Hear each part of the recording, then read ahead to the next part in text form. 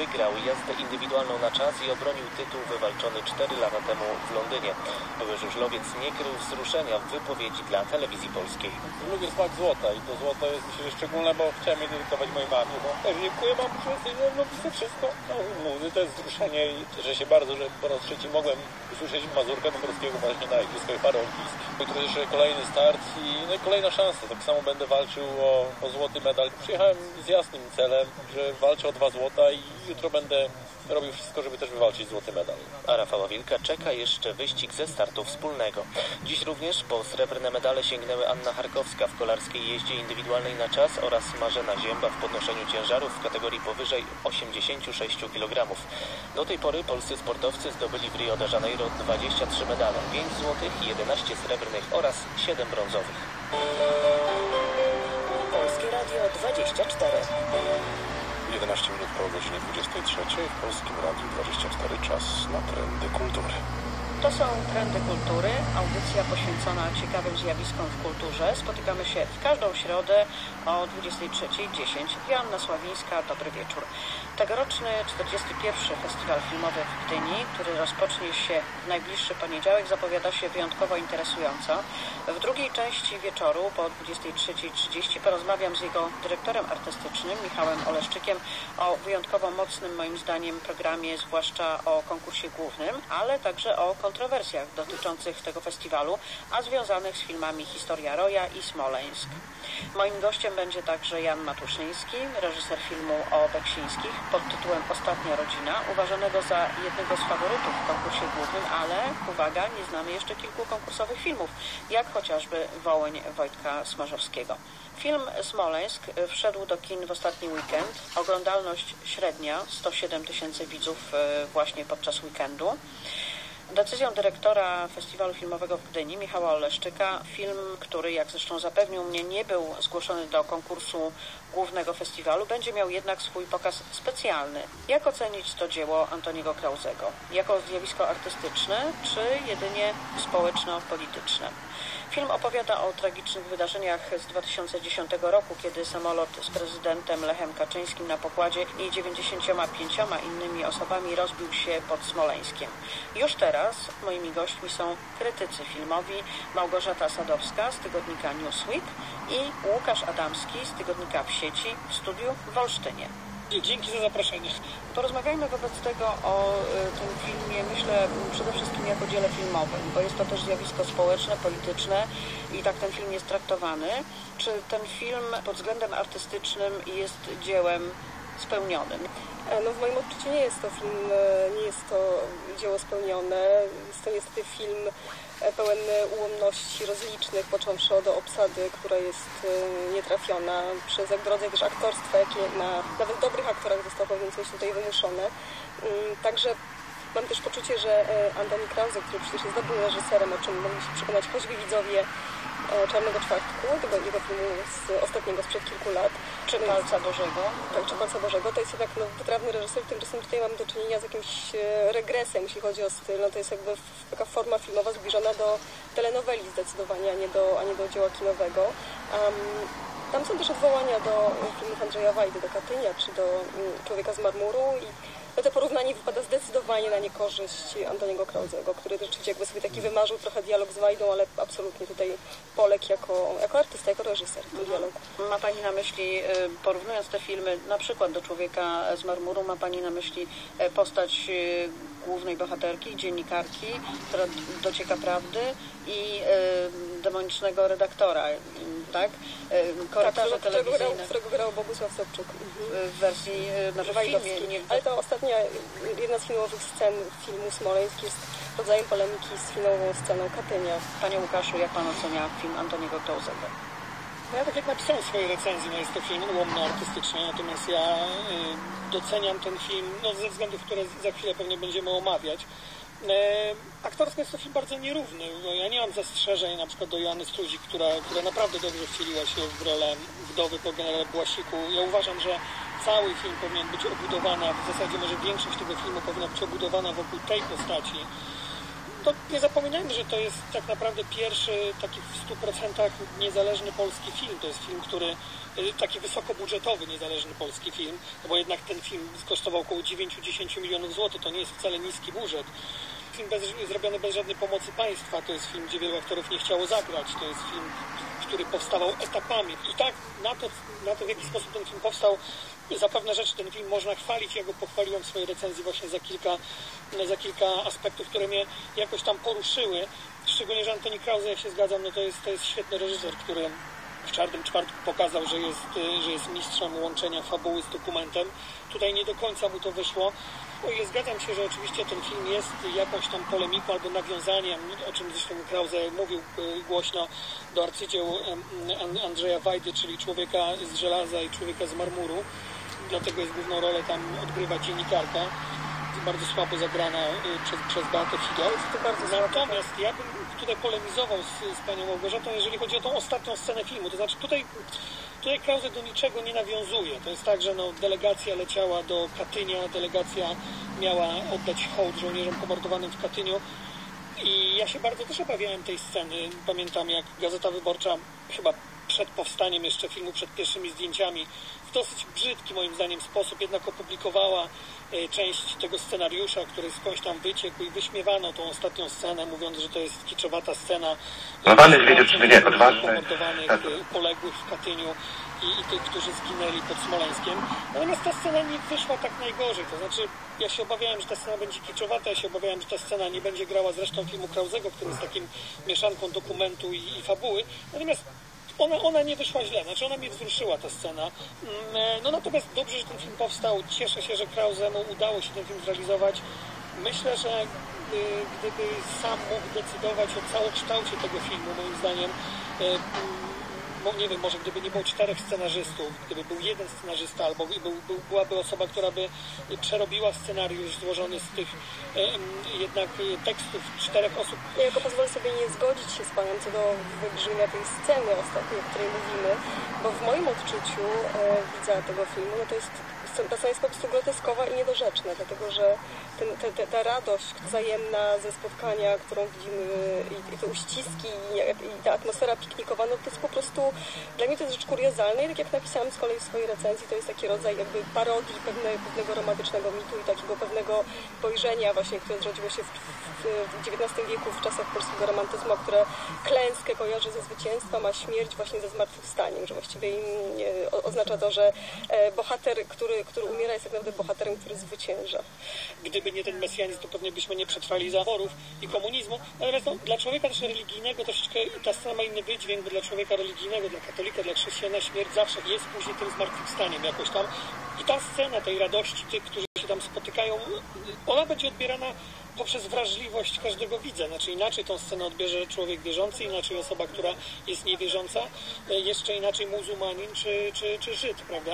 Scena taka religijna, więc dlatego mówię, że to inaczej, bo, bo to, tutaj to zależy naprawdę od wrażliwości. Ja mogę się kłócić o cały ten film i, i, i tutaj Nie, Pani, nie trzeba być osobą wierzącą, żeby zrozumieć scenę religijną. Proszę mi wierzyć. Nie Zostawmy już to, bo już to zostało powiedziane, a rozmawiamy o jednej scenie, ona jest oczywiście bardzo ważna, ale spójrzmy na film jako całość. Tutaj zdaje się też były nieporozumienia e, z producentem, reżysera z producentem. Reżyser w każdym razie twierdzi, że nie do końca mógł zapanować nad całością realizacji tego filmu.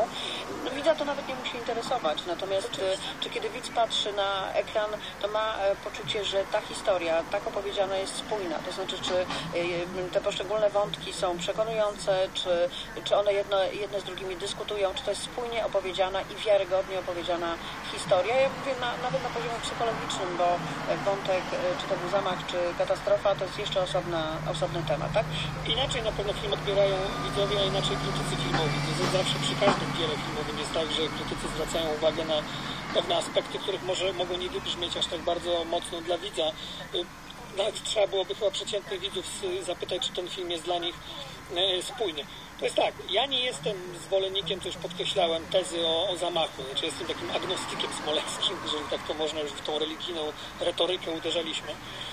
Dla mnie ten film, jako dla widza, to jest bardzo klarowny, przejrzysty film. Jeżeli e, Krause od początku do końca niczego nie udaje, on jest bardzo uczciwy w tym filmie. On stawia na początku tezę zupełnie od pierwszych do ostatnich scen. Wiemy, że chce przekonać widza, że pod Smoleńskiem doszło do zamachu, naświetla, kto może być autorem tego zamachu. No i tyle, artysta ma prawo do takiej wizji. Oliver Stone robił to samo w JFK, przecież tam tyle, że nie, nie porównujmy tych filmów, bo JFK jest jednak, jest jednak majstersztykiem e, e, artystycznym, choć e, media amerykańskie no, naprawdę bardzo mocno atakowały ten film za tezę, w nim, e, w nim przedstawiono mi to najróżniejsze media. Więc teraz tak, no Krause pokazuje po prostu swoją wizję. On zebrał te wszystkie teorie, które pojawiały się na przełomie ostatnich sześciu lat w, w prawicowej prasie, uporządkował je, dodał do, od siebie, uwypuklił niektóre te teorie, niektóre, niektóre zmarginalizował, no i przedstawił swoją wizję, którą chce przekonać widza. No nie, ale dobrze, E, ale film to nie wykład. I to, że reżyser przedstawia swoją wizję, to jedno, ale to, czy, czy on to robi filmowo w sposób e, spójny, czy wiarygodne są poszczególne sceny, choćby taka, kiedy e, dziennikarka, już wiedząc o jakimś strasznym zagrożeniu różnych osób interesujących się sprawą smoleńską, nagle wychodzi wywołana w nocy przez nieznanego sobie człowieka, umawia się z nim w kawiarni, no i e, on Oddaje telefon. oddaje telefon, on jej opowiada jakieś historie o jakichś ludziach, którzy zginęli, zostali zamordowani. Już dzisiaj wiemy, że tam ta śmierć rzekomo e, operatora, który tam kręcił, to jest tak niezupełnie jak w tym filmie jest przedstawione. Tak się nie opowiada dorosłym widzom, którzy mają no, swój, swój rozum. ja, Wie pani, ja dokładnie to napisałem w swojej recenzji. Ja również tą scenę bardzo skrytykowałem i też nie rozumiem, dlaczego e, jest niekonsekwencja mm, w postaci właśnie tej dziennikarki. Bo, oczywiście to jest położona rola przez Beatę Fido i uważam, że mimo tego, że część aktorów e, nie zgodziła się zagrać w tym filmie... To nie jest e, usprawiedliwienie dla reżysera, Tak, tak, prawda? tak. Mając przynajmniej na, na pokładzie Annę Samusionek, która w jednej krótkiej scenie no, nakryła aktorsko Beatę Fido, no myślę, że nawet Samusionek by tą rolę dużo lepiej zagrała główną. E, Więc, ale sama konstrukcja scenariuszu tej roli też nie jest najlepsza. Ja też, ona też do końca nie jest wiarygodna. Ja nie wierzę też w przemianę tej e, postaci. Więc tutaj jest zgoda pełna. Ja się cieszę, że ten film powstał. Uważam, że to jest potrzebny film. Gratuluję Antoniemu Klausemu, ale za wiele rzeczy jakby artystycznie będę ganił ten film. No. Jeszcze o spójność zapytam e, Małgorzatę Sadowską. Państwo powiedzieliście o paru, o paru jakby w niedociągnięciach tego filmu, czy jego ułomności. To mogłabym tylko dodać, że też widać takie braki inscenizacyjne. Znaczna część akcji tego filmu rozgrywa się w takiej telewizji, która jest e, w dosyć oczywisty sposób od- odnosi się do e, stacji TVN, która jest, jak wiadomo, gigantyczną, prywatną telewizją. Tymczasem to, co widzimy na ekranie, to jest po prostu raczej kpina z tego, jak mogłaby wyglądać telewizja, czy studio telewizyjne, czy debata telewizyjna w komercyjnej stacji. Bo tutaj to się sprowadza, nie wiem, do jednego ekranu jakiegoś telewizora w kawiarence, i, grupki jakiejś niewielkiej dziennikarzy, którzy tam się jakby pałętają i to po prostu wygląda jak jakieś opustoszałe biuro, a nie, a nie jak e, prawdziwa stacja telewizyjna z prawdziwego zdarzenia. Więc są rzeczywiście, czy też te fragmenty programów telewizyjnych, które są zrekonstruowane, czy to nakręcone na użytek Smoleńska są, są, są raczej karykaturą tak naprawdę prawdziwych programów telewizyjnych, a nie oddają ani ich atmosfery, ani sposobu, w jaki to jest e, realizowane. O aktorstwie Beaty już powiedzieliśmy. No, przemianie jej bohaterki jest kompletnie też niewiarygodna, bo ta bohaterka właściwie się miota, od raz wierzy, raz nie wierzy, jest jakąś wziętą dziennikarką śledczą, po czym przychodzi do swojego szefa po jakieś e, bardzo podstawowe numery telefonów, po czym chodzi na konferencje prasowe, które wyglądają jak karykatury konferencji prasowych, a nie jak prawdziwe konferencje prasowe, więc tam jest to wszystko takie Jeśli mówimy o karykaturze, to wydaje mi się, że e, Be- Beata Fido zagrała swoją postać e, rzeczywiście karykaturalnie, także dlatego, że stosuje przedziwne środki e, aktorskie. No, przeważnie jest uśmiechnięta w taki dziwny sposób. Jest to niespójne po prostu. Oczywiście wielcy aktorzy czasami grają w taki sposób, że kiedy jest im smutno, to właśnie odwrotną emocję pokazują. To są bardzo skomplikowane rzeczy, to są, to są świetne szkoły aktorskie. Natomiast w tym przypadku ja miałam wrażenie, że no po prostu uśmiech pani jest brak środków aktorskich. tak, i te postacie drugoplanowe też są bardzo złe. Ten tłum na przykład na krakowskim przedmieściu, jednostronnie pokazywana ta strona, która jest przeciwko teorii o zamachu, to są sami źli ludzie, druga strona to, to są wspaniali Polacy. Nie, no tak, tak. te sceny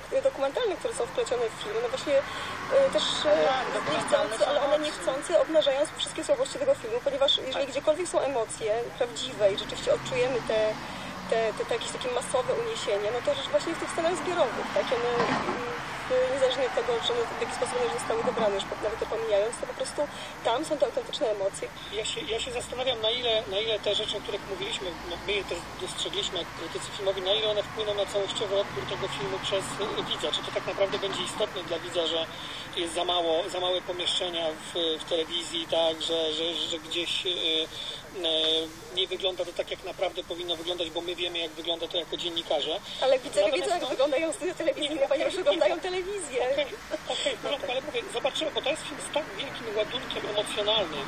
E, To jest film, który, mm, który opowiada o tak wstrząsającym okresie w historii Polski, najnowszej historii. Wpisuje się w ten podział polityczny.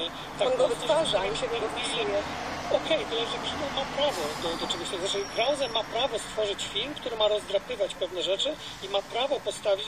Ja uważam, że on ma prawo pokazać w taki sposób, jaki pokazał tłum na krakowskim przedmieściu. To jest jego dzieło i ono może być bardzo, bardzo subiektywne. Przecież Oliver Stone robi również bardzo subiektywne filmy. Stawia bardzo Ale Oliver Stone nie podważał, nie, nie podważał faktu nie, zamachu Stone, JFK. nie, nie, nie, ale Oliver Stone twierdzi, że rząd Stanów Zjednoczonych zamordował prezydenta Stanów Zjednoczonych. No, przepraszam, to jest dokładnie to samo, co można, no, to nawet Krause nie stawia w Smoleńsku tezy, że polski rząd zamordował prezydenta, stawia, że to, zrobi, że to zrobili Rosjanie. Ale Oliver przecież Antoni mówi- Kraus zrobi to z subtelnością Olivera Stone'a, to proszę bardzo. Oliver Stone przecież no, oskarżył wiceprezydenta Stanów Zjednoczonych Lyndona Johnsona o bycie w spisku, y, który pozbawił życia JFK. Więc ja daję prawo zarówno lewicowemu Stone'owi, jak i prawicowemu Krausemu i każdemu innemu twórcy, artyście do tego, żeby stawiać jak najmocniejsze tezy. Oczywiście, że spieramy się o to, czy ten film jest artystycznie dobry, czy nie. Chyba mamy podobne zdanie, jeżeli chodzi o artystyczne tego filmu. Gdzieś tam podział między nami tutaj, jak rozmawiamy w, studiu, jest przy tym, czy ten film może być tak zrealizowany e, ideologicznie, e, czy nie może. No ja uważam, że może, że Krause miał prawo do takiej wizji. Ale do tego też mam zastrzeżenia. Jeżeli ja widzę mm, scenę, w której, dokumentalną scenę, w której Donald Tusk rozmawia z Władimirem Putinem, obejmują się, te sceny pamiętamy, to było tuż po tragedii, ale jest e, w tym momencie rozmowa pary prezydenckiej e, w- filmie, prawda, kiedy Lech Kaczyński i Maria Kaczyńska zastanawiają się, w jakim języku rozmawiają e, ci panowie i pada przypuszczenie pani prezydentowej, filmowej, że pewnie po niemiecku i ta scena przecież nie jest bez powodu. To jest po to, żeby wywołać pewną emocję u widza, że no tak rozmawiają po niemiecku, prawda? Wiadomo. Tymczasem jest scena, która dla mnie jest niewiarygodna, kiedy prezydent e, Kaczyński, którego gra zupełnie nieźle, e, tu się chyba zgadzamy, Lech Łotocki, e, rozmawia z prezydentem Gruzji świetną angielszczyzną. Tymczasem, no o ile wiem, to nikt nie słyszał specjalnie publicznie mówiącego po angielsku dobrze prezydenta Lecha Kaczyńskiego, chociaż pani Maria Kaczyńska mówiła rewelacyjnie po, po angielsku. Sceny Putina i Tuska, no zawsze ktoś, kto jest obeznany jakoś w polityce, no on może stwierdzić, no dobrze, no bo wiemy, że Putin przecież był e, agentem KGB w Niemczech, tak on zna niemiecki, no i Donald Tusk też, też nie jest tajemnicą, że zna niemiecki. Ale tego typu sceny się właśnie nie umieszcza bez powodu. Ostatnie zdanie, czy warto pójść na Smoleńsk?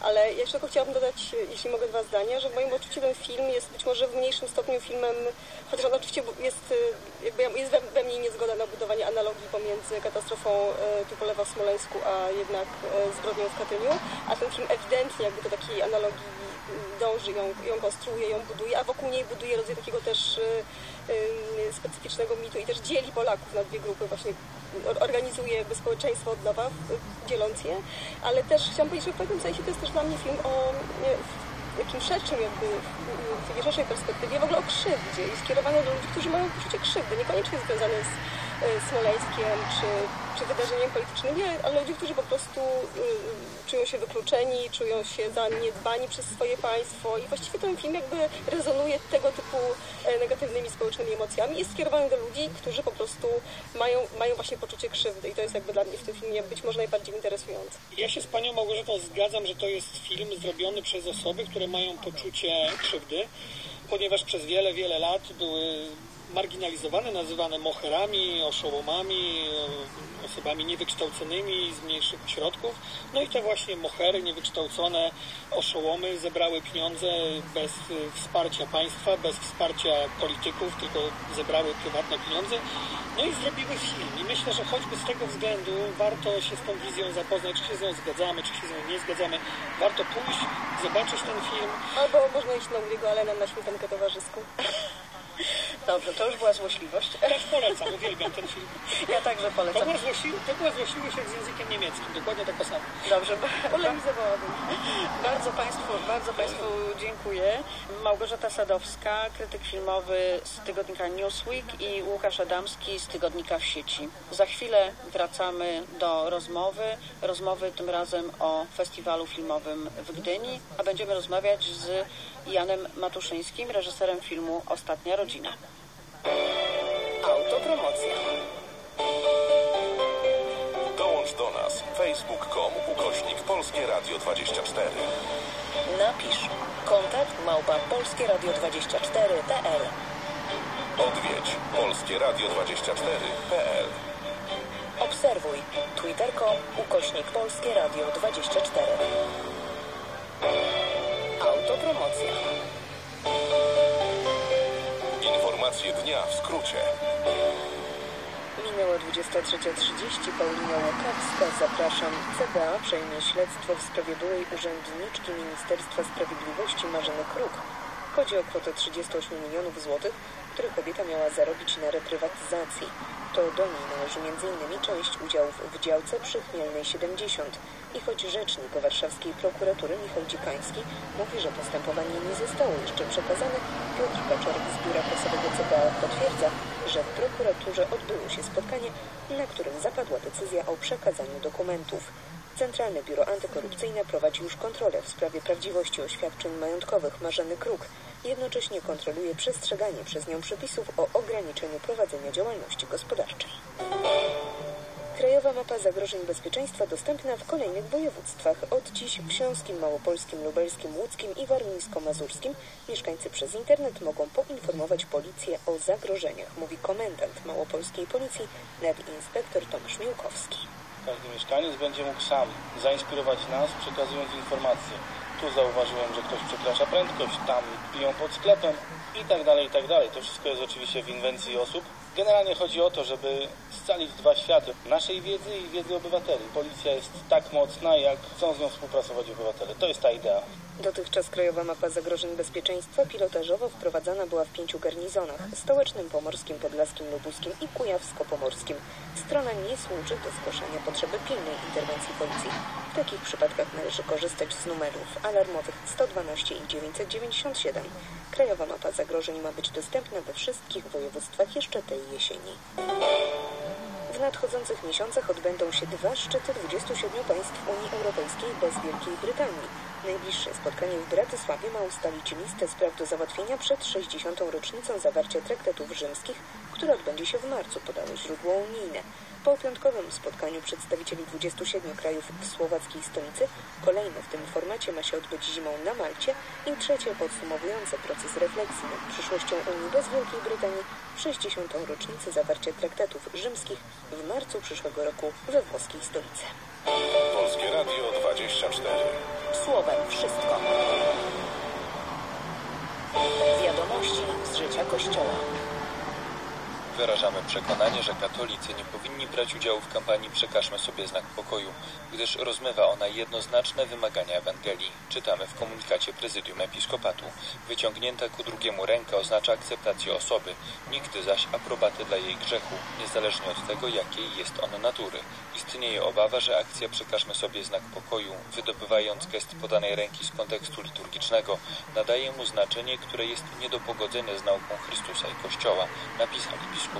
Prezydium Episkopatu podkreśla, że Kościół nigdy nie dzieli ludzi według orientacji seksualnej, ale uświadamia wszystkim, że jako stworzeni na obraz i podobieństwo Boga są ukochanymi dziećmi bożymi, siostrami i braćmi w Chrystusie.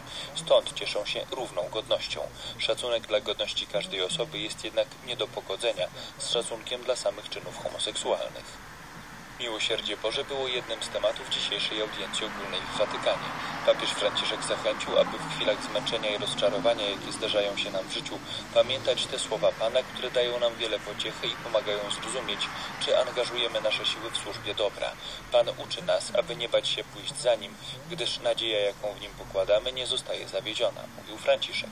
Pozdrawiając Polaków, Ojciec Święty nawiązał do obchodzonego dzisiaj święta podwyższenia Krzyża Świętego. Wpatrujmy się często w krzyż, krzyż, na którym Jezus, Syn Boży, umarł dla naszego zbawienia. Ten święty znak jest odpowiedzią Boga na zło i grzech człowieka. Jest to odpowiedź miłości, miłosierdzia i przebaczenia. Ukazujmy krzyż całemu światu, wysławiajmy go w naszych sercach, domach i wspólnotach. Niech będzie pochwalony Jezus Chrystus, mówił Ojciec Święty. Funkcjonowanie Kongregacji do Spraw Duchowieństwa, do Spraw Biskupów, do Spraw Edukacji Katolickiej oraz Papieskiej Rady do Spraw Popierania Jedności Chrześcijan były głównymi tematami obrad Rady Kardynałów. Informacje te podało na zakończenie obrad Biuro Prasowe Stolicy Apostolskiej. Na spotkaniu doradców Ojca Świętego poruszono także kwestie duchownych pracujących w służbach dyplomatycznych Stolicy Apostolskiej, a także formacji i zadań nuncjuszów apostolskich, ze szczególnym uwzględnieniem ich obowiązków dotyczących wyboru kandydatów na biskupów. Serwis z życia Kościoła katolickiego przygotował i przedstawił Przemysław Goławski. Polskie Radio 24. To są trendy kultury. Moim gościem jest Jan Matuszyński, który stworzył filmowy obraz niezwykłej rodziny. Gratuluję Ci świetnego, przejmującego filmu pod tytułem Ostatnia rodzina, w którym jest i dramat egzystencjalny człowieka i świetnie oddane relacje rodzinne. Pamiętam, jak mówiłeś mi, że scenariusz Roberta Bolesty od razu wydał Ci się materiałem na znakomity film. Co właściwie w tym scenariuszu Cię przekonało?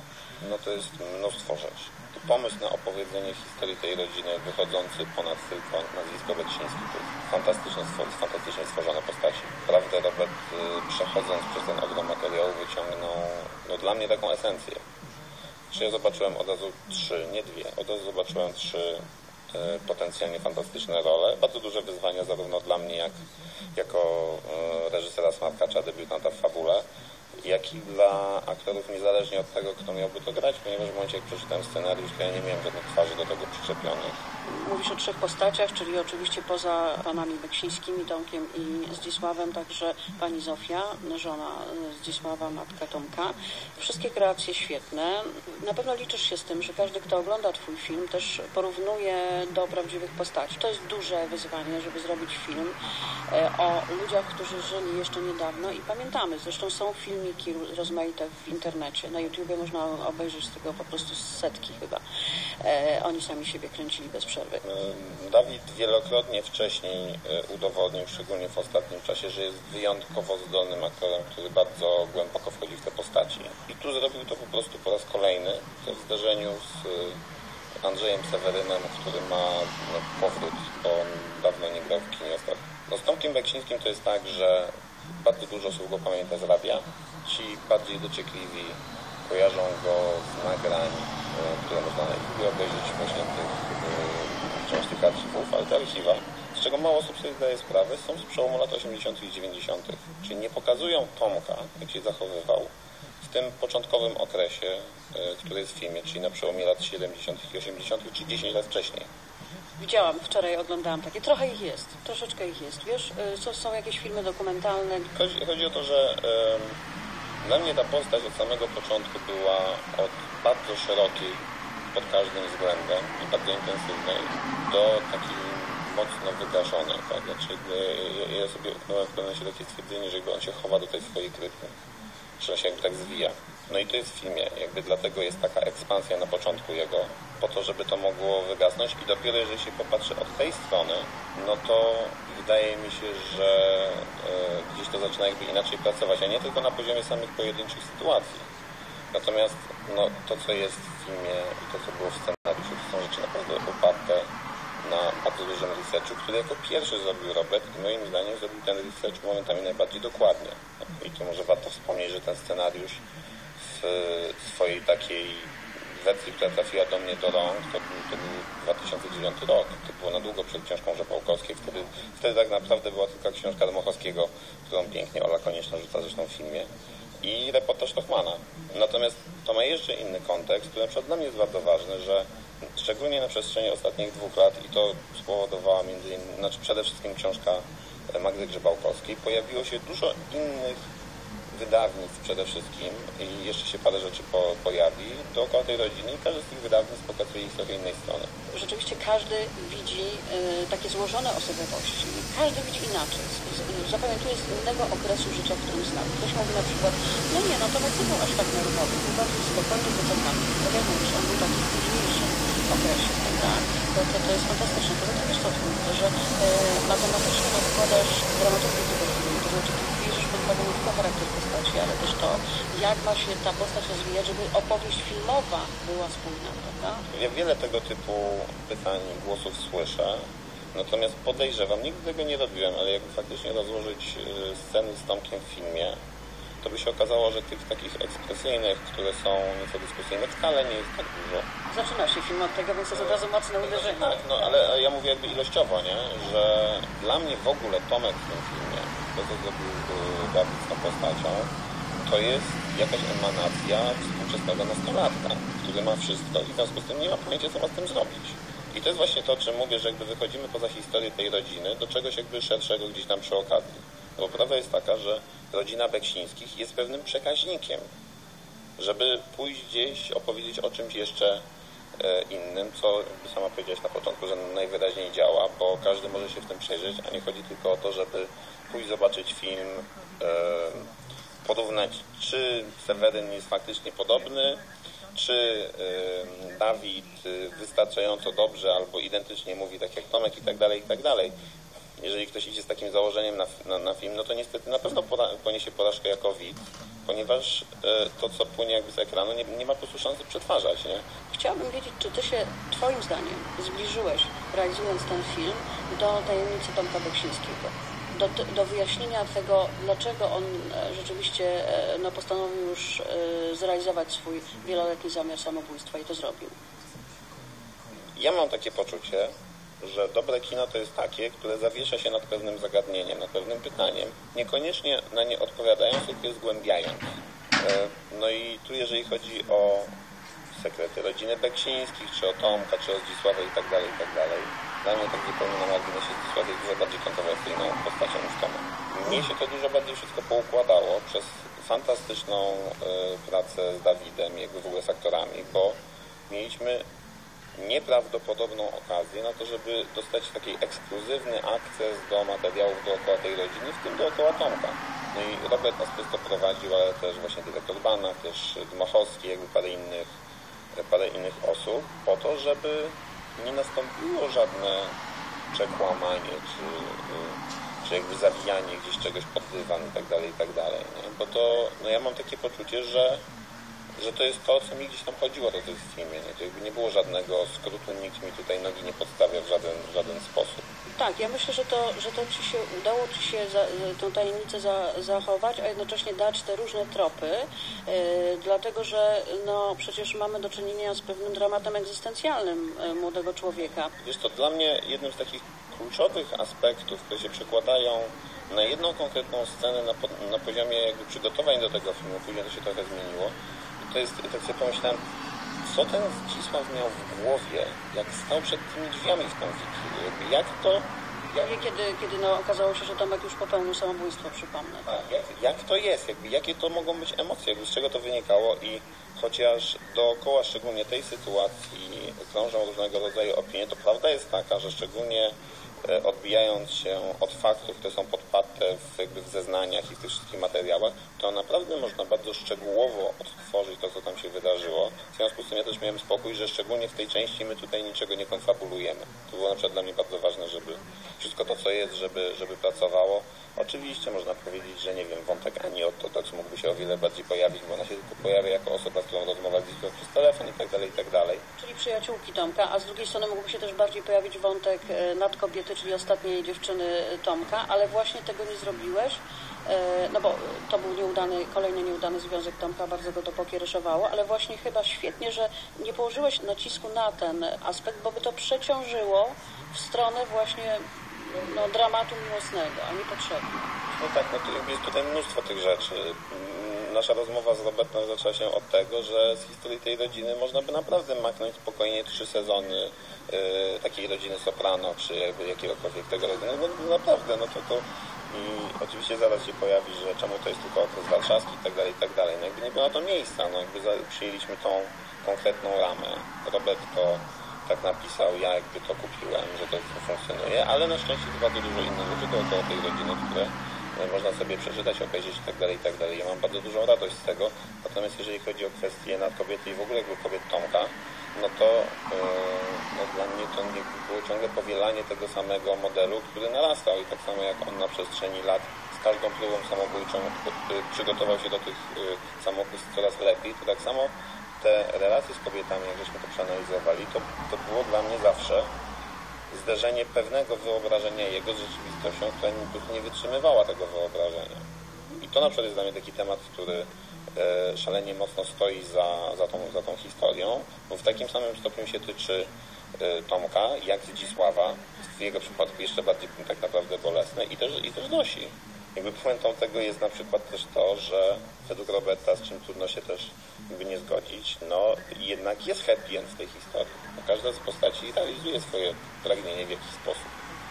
Nie? I to, ale, ale to, bo to, bo to jest właśnie taki element, który e, ten jakby egzystencjalny tutaj gdzieś, gdzieś pracuje i, i, i to jest w ogóle fantastyczne, żeby o tym, żeby o tym gadać. No i ja e, słysząc różnego rodzaju rozmowy po tam paru pokazach, które gdzieś tam były, czy to w Locarno, czy to gdzieś indziej, jakby cieszę się, że ludzie gadają o tych bardzo wielu rzeczach, które się udało włożyć do tego filmu, bo to jest nie tylko to, tego jest dużo więcej.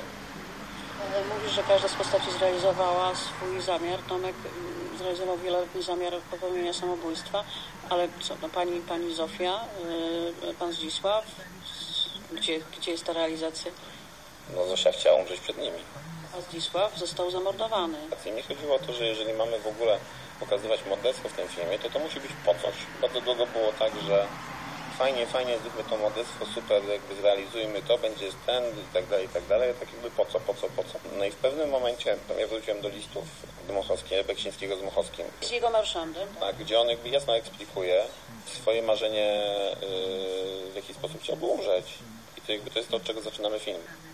Nie? I to jakby otwiera tą rozmowę tej rodziny z no, z nieuniknionością, tak bym powiedział. Już nie chcę mówić ze śmiecią, bo to z kolei strasznie tabloidyzuje ten, ten wątek. To jest tak, że to bardzo w bardzo wielu odcieniach, bardzo wielu perspektyw cały czas płynie przez tą historię, która jest pokazana w filmie. Czy, czy opierałeś się też w jakimś stopniu na książce Magdaleny Grzebałkowskiej, czy tylko scenariusz i same włas twoje własne poszukiwania tutaj? To od strony takiej formalnej była dosyć delikatna sprawa, bo książka wyszła w momencie, kiedy myśmy zaczynali nasze rozmowy ze scenarzystą, też z producentami, czyli z y, Leszkiem Wozakiem i Anetą Himbotą. No i ustaliliśmy dosyć jasno, że musimy tą książkę w pewnym sensie omijać szerokim łukiem, bo to jest prawdziwa historia, my nie robimy adaptacji tej książki, nigdy nie było takiego założenia i tak dalej, i tak. I wszystko, co e, znalazło się w scenariuszu jest oparte na researchu Roberta albo rzeczy, które gdzieś tam przy okazji filmu powstały gdzieś przez nas oczywiście we współpracy z Muzeum Historycznym Sanoku, który ma największą ilość y, materiałów itd. Tak itd. No jakby ta książka to jest inny odcień tej samej historii. Na koniec chciałam Ci y, tutaj, mam ogromną przyjemność, dlatego chciałam Ci bardzo tego filmu pogratulować. Jest rzeczywiście świetny. Nie tylko jest to świetny film debiutanta, jest to znakomity film fabularny, rzeczywiście z takim uniwersalnym przesłaniem. Ja do tego dołożę, że ja najbardziej podziwiam pracę producentów, bo to oni najwięcej tu zaryzykowali i jeszcze raz chciałem podziękować i Leszkowi Bodzakowi, Anecie Hikimbotom, bo to y, bez nich to by wyglądało wszystko zupełnie inaczej. To jest audycja Trendy Kultury w Polskim Radiu 24, a moim gościem jest dyrektor artystyczny Festiwalu Filmowego w Gdyni, Michał Oleszczyk. Festiwal filmowy w Gdyni zbliża się do swoich krokami, rozpocznie się 19 września i jest to festiwal, który budzi w tym roku szczególne emocje, emocje artystyczne i emocje polityczne. Emocje artystyczne nic dziwnego, dlatego że y, no, konkurs główny zapowiada się zupełnie fantastycznie. W tym roku obejrzymy już tak głośny film jeszcze przed premierą y, jak Ostatnia Rodzina, y, film Zaćma Ryszarda Bogajskiego o Julii Brystygierowej, Zjednoczone Stany Miłości Tomasza Wasilewskiego, Królewicz Olf Kuby Czekaja. To, jest, to, to są tylko niektóre z 16 tytułów. Swoje nowe filmy pokażą także Michał Rosa, Wojciech Kasperski, Jan Jakub Kolski. Oczywiście wszyscy czekamy na Wołyń, na Wołyń Wojtka Smaszewskiego, który też jest filmem bardzo oczekiwanym już od dawna i wiele się o nim mówi. To, że komisja kwalifikująca e, filmy do konkursu głównego nie zakwalifikowała historii Roya, wywołało e, reakcję ministra. Ta sprawa była już omawiana. Ja tylko przypomnę, że minister e, kultury Piotr Biliński wydał takie oświadczenie, w którym wyraził zaniepokojenie tym, że historia Roya nie znalazła się w konkursie głównym. Twierdził, że film ten no, ma takie walory artystyczne, którym, z powodu których nie ustępuje innym filmom tego konkursu. No i dodał jeszcze, że to jest niesłychane, żeby w demokratycznym państwie właśnie dochodziło do takich e, sytuacji. To jest oczywiście już słynna sprawa wręcz. W swoim oświadczeniu e, powiedziałem z prawdą, że ta decyzja o nieobecności w konkursie miała właśnie charakter merytoryczny. Znaczy, że film nie dostał się do konkursu nie dlatego, jak sugerował minister, że opowiada o żołnierzach wyklętych, a żołnierze wyklęci są jakoś niemili, że tak powiem mnie czy komisji jako temat. Wręcz przeciwnie, zawsze ten temat bardzo chciałbym, promowałem w wywiadach i mówiłem, że chciałbym zobaczyć dobry film o żołnierzach wyklętych w Polsce. Że to jest temat e, Tak. dobrego filmu. dobrego filmu. A Pojawiła się taka sugestia, że to nie była merytoryczna decyzja, ale moja rola jako dyrektora artystycznego jest taka, żeby pilnować tego konkursu i pilnować jego jakości.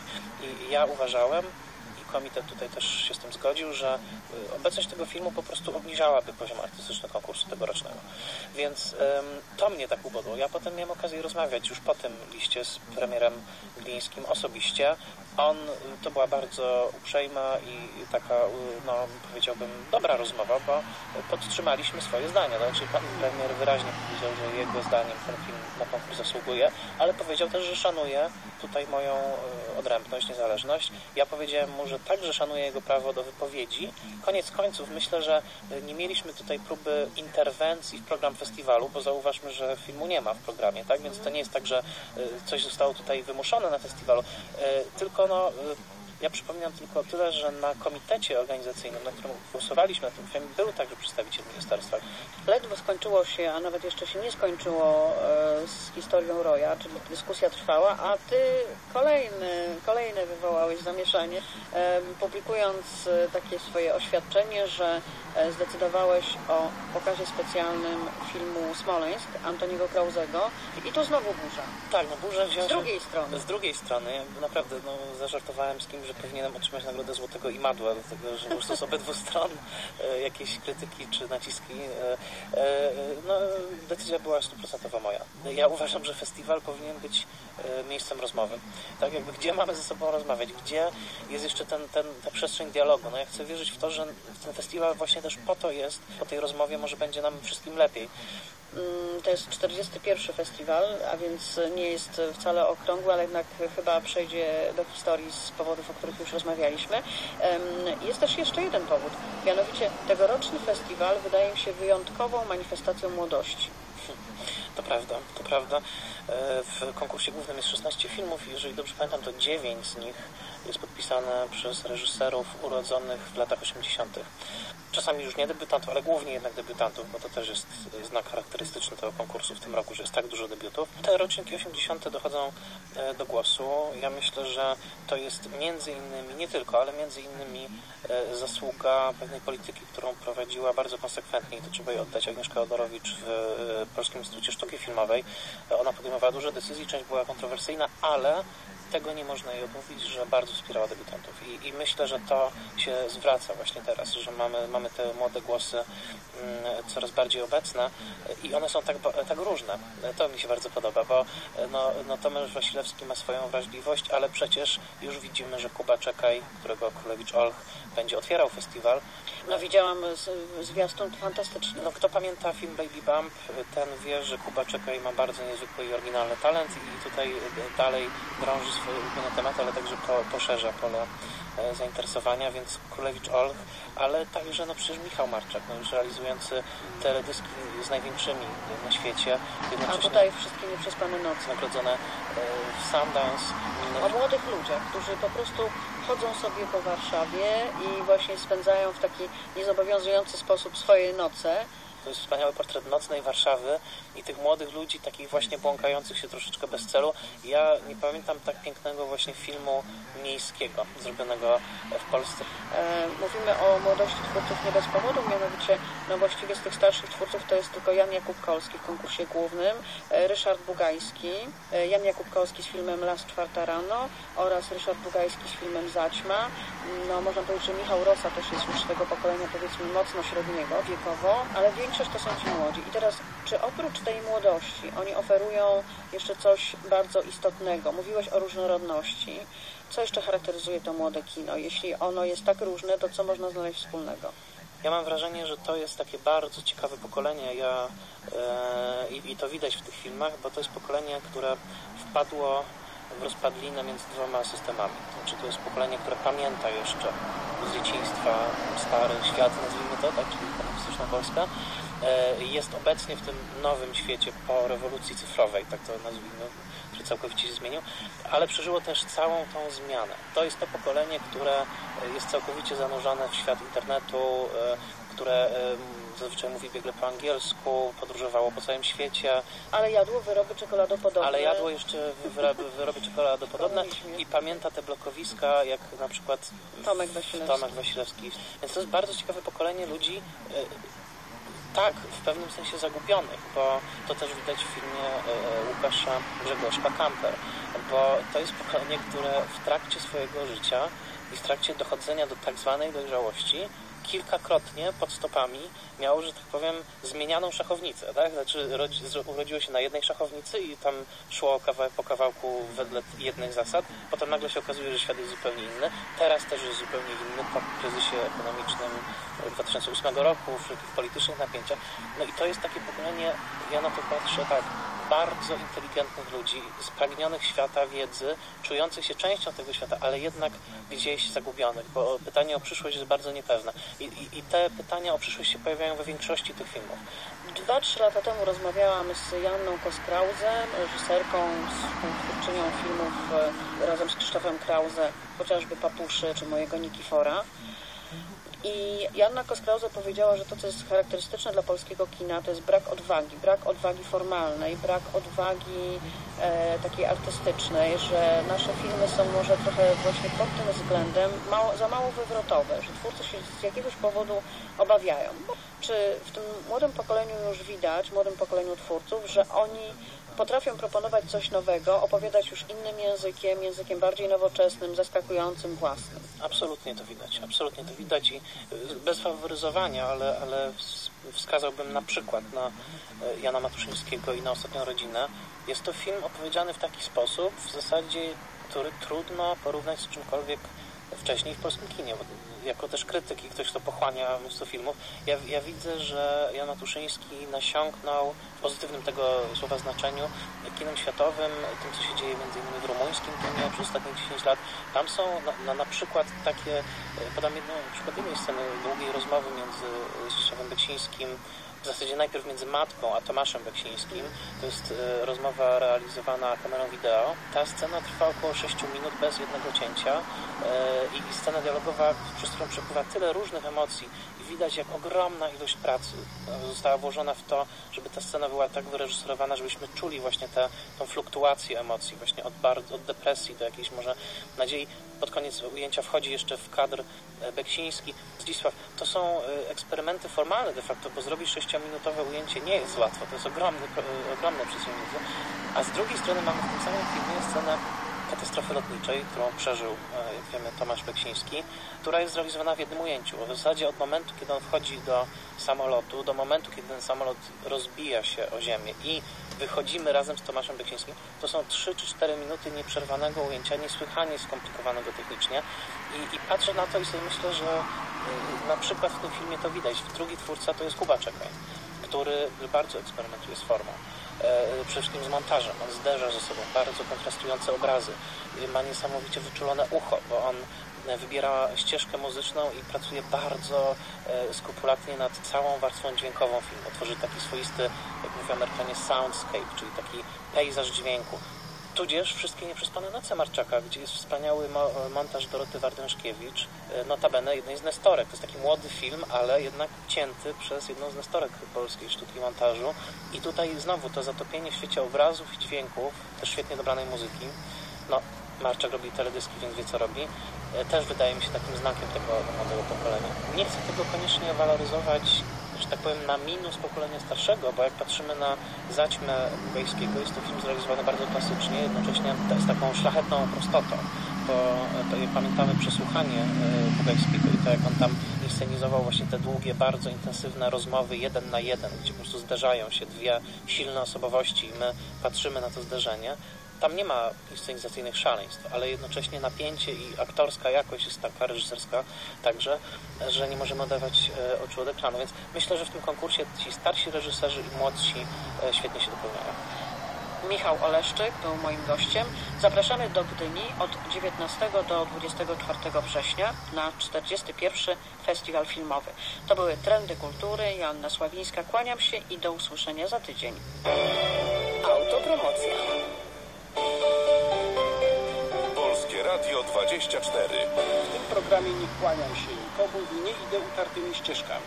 Zadaję pytania trudne, kłopotliwe, politycznie niepoprawne i wraz z moimi gośćmi próbuję znaleźć na nie odpowiedź. Jednym słowem, szukam dziury w całym. Zapraszam na program Szukając dziury w całym w każdy czwartek o 19.15 w Polskim Radiu 24. Łukasz Warzecha. Do usłyszenia. Autopromocja.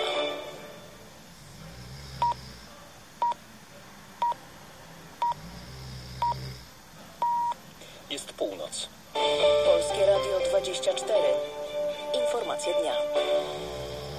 Przed mikrofonem Robert Kawka. Dobry wieczór.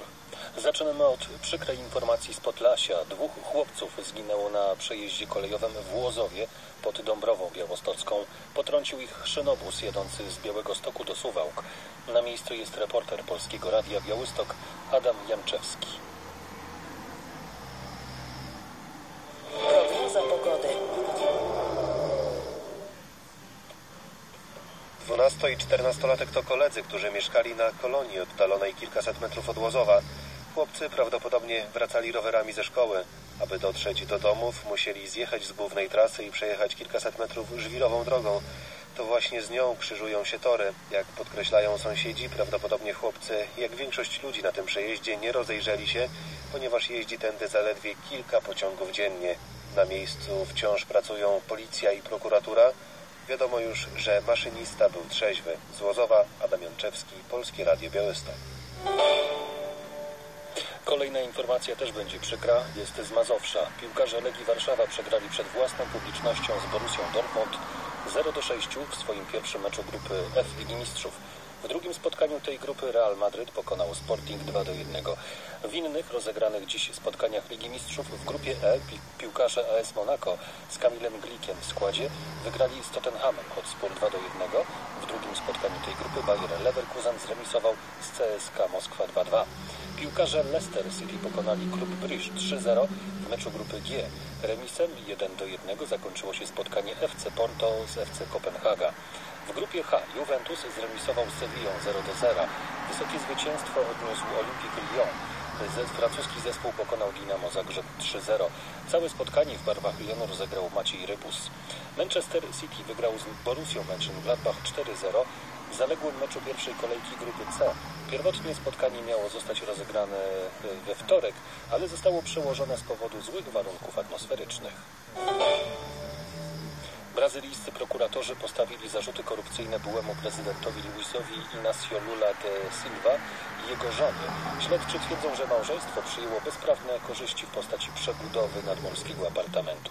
W sprawę pośrednio zaangażowany miał być naftowy gigant Petrobras. Da Silva otrzymał według prokuratorów ponad 3,5 miliona reali, czyli według obecnego przelicznika, równowartość prawie 4,5 miliona złotych. Prawnicy byłego prezydenta Brazylii stanowczo odrzucają zarzuty i zapowiadają walkę w sądzie o uznanie ich klienta za niewinnego. W Grecji zaczynają się dziś masowe licytacje, licytacje nieruchomości, których właściciele nie spłacają bankowych kredytów. Pod młotek pójdzie pierwszych 2000 lokali. Banki twierdzą, że w ten sposób kredytobiorcy, którzy systematycznie nie wywiązują się z umów, otrzymają sygnał, że czas niepłacenia się skończył. Kierownictwo banków ma nadzieję, że po pierwszej aukcji część wierzycieli, która regularnie unika spłaty kredytów, zacznie z nimi współpracować. Pierwsze licytacje dotyczyć będą nieruchomości o wartości 300-400 tysięcy euro. Pod młotek będą wystawione mieszkania i lokale, których właściciele zalegają z opłatami co najmniej dwa lata, a mają oszczędności w innych bankach. Chodzi o osoby, które celowo nie spłacały do tej pory kredytów, wykorzystując sytuację, jaka przez lata panowała w Grecji i chroniła pożyczkobiorców. Komisja Spraw Zagranicznych brytyjskiego parlamentu opublikowała raport w sprawie interwencji w Libii w 2011 roku. Raport nie oszczędza przede wszystkim byłego premiera Davida Camerona, stwierdzając, że ponosi on współodpowiedzialność za ekspansję tzw. państwa islamskiego w Afryce Północnej. Z Londynu Grzegorz Drymer. W ocenie autorów raportu, interweniując w Libii, David Cameron nie wyciągnął żadnych lekcji z interwencji Tony'ego Blaira w Iraku. Cameron i ówczesny prezydent Francji Nicolas Sarkozy zamierzali początkowo interweniować tylko po to, by nie dopuścić do masakry zrewoltowanej ludności Bengazji podczas arabskiej wiosny, ale wkrótce ta misja przerodziła się w akcję na rzecz obalenia pułkownika Muammara Kaddafiego. Raport podkreśla, że Cameron i Sarkozy nie mieli właściwej wiedzy i planu na przyszłość, a ówczesny brytyjski szef sztabu, generał David Richards, nie podzielał oceny, że interwencja leżała w interesie Wielkiej Brytanii. Skończyło się na tym, że brytyjskie i francuskie samoloty wsparły islamistów, a po śmierci Kaddafiego Libię ogarnął chaos wojny domowej, z której nie podniosła się do dziś. Raport konkluduje, że to Brytyjczycy, Francuzi i do pewnego stopnia Amerykanie ponoszą współodpowiedzialność za rozpad struktur państwowych Libii, bezprawie i uboczny problem masowej migracji z Afryki przez Morze Śródziemne do Europy. Dla Polskiego Radia Grzegorz Drymer, Londyn. W niecodzienny sposób zakończyły się prawybory amerykańskiej Partii Republikańskiej do Parlamentu stanu Nowy Jork. Wygrał je kandydat, który kilka dni wcześniej popełnił samobójstwo. Z Waszyngtonu Marek Wałkuski. 60-letni Bill Nojay ubiegał się o drugą kadencję w 133 okręgu wyborczym stanu Nowy Jork. Był popularnym politykiem, miał własny program radiowy, walczył o interesy farmerów i drobnych przedsiębiorców. Był zagorzałym zwolennikiem szerokiego dostępu do broni. W ostatnim czasie wysunięto jednak pod jego adresem oskarżenia o udział w machinacjach finansowych. W miniony piątek, w dniu, w którym miał stanąć przed sądem, zastrzelił się na cmentarzu w rodzinnej miejscowości Rochester. Lokalni przywódcy Partii Republikańskiej wezwali jednak wyborców, by głosowali na Nojaya i we wczorajszych prawyborach uzyskał prawie 60% głosów. Dzięki zwycięstwu nieżyjącego polityka to szefowie partii wskażą kandydata w listopadowych wyborach. Jego rywal Rick Mill, który przegrał prawybory z nieboszczykiem, wyraził nadzieję, że wybiorą właśnie jego. Z Waszyngtonu Marek Wałkuski, Polskie Radio. Prognoza pogody. Wracamy do kraju. W nocy zachmurzenie małe, nad ranem gdzie niegdzie, zwłaszcza w dolinach górskich mgły. Temperatura od 4 stopni miejscami na Suwalszczyźnie, przez około 11 w centrum, 13 na zachodzie, do 15 na wybrzeżu. Polskie Radio 24.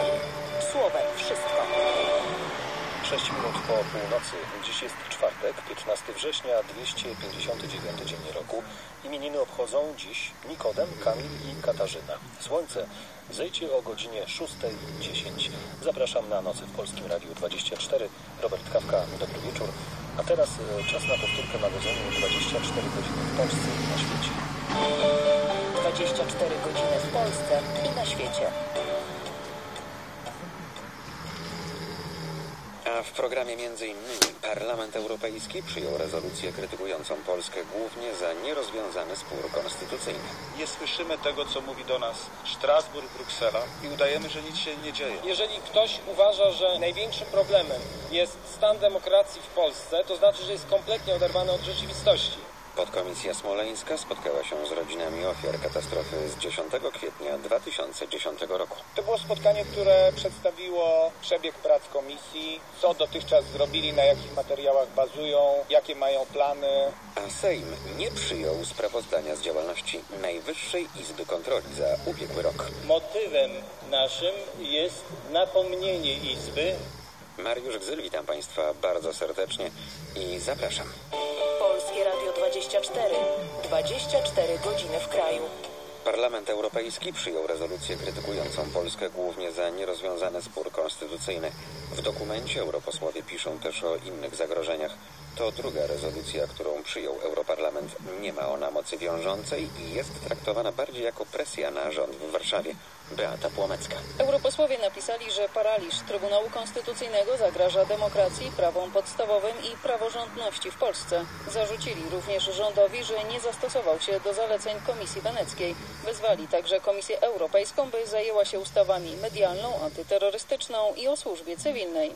W preambule do rezolucji europosłowie napisali też o zaniepokojeniu decyzją o wycięciu części drzew w Puszczy Białowieskiej. Podczas głosowania odrzucono poprawki złożone przez Zielonych i komunistów dotyczące m.in. liberalizacji prawa aborcyjnego, a także te krytykujące polskie władze, że uważają chrześcijaństwo za jedyną podstawę europejskich wartości i kultury.